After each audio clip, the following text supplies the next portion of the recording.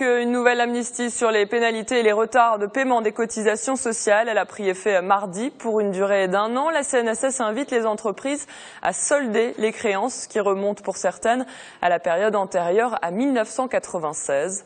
Ce dispositif a reçu l'aval du ministère des Finances. Nous avons joint par téléphone Abdelatif Mortaki, le directeur du pôle entreprise à la CNSS, qui nous explique son fonctionnement. Écoutez. Alors effectivement, donc euh, vient rentrer en vigueur une décision, une décision conjointe du ministre de l'Emploi et des Affaires sociales et du ministre de l'Économie et des Finances, qui euh, qui va porter sur euh, des remises sur des majorations de retard et des frais de recouvrement concernant les créances dues par la CNSS aux entreprises.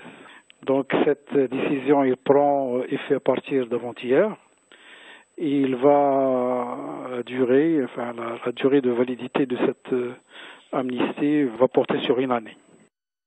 Alors de quoi s'agit-il? Donc euh, il s'agit effectivement d'offrir l'opportunité aux entreprises de s'acquitter de leurs euh, créances tout en, tout en ayant la facilité ou l'opportunité d'effacer totalement les pénalités de retard et les frais de recouvrement enfin les périodes qui sont concernées. Alors euh, c'est euh, pour toutes les créances euh, relatives aux années 2005 et antérieures.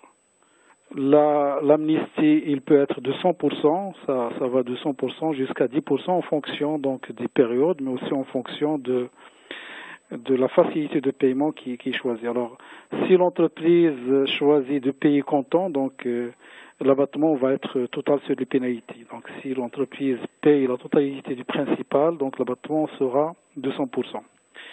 Alors nous avons fait une distinction entre les périodes. Il y a les périodes 96 et antérieures, où l'entreprise a la possibilité de payer la totalité et avoir la remise totale. Mais aussi il y a les périodes 97 jusqu'à 2005, où l'entreprise a encore une fois la possibilité de payer soit totalement, soit par des facilités de paiement.